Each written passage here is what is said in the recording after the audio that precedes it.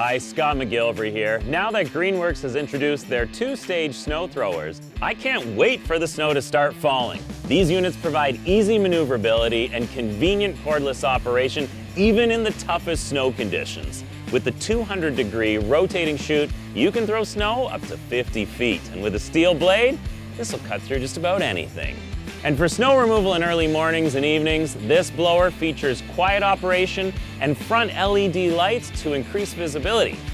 Winter is coming, and this year, it doesn't stand a chance. Visit greenworkstools.ca to get yours today.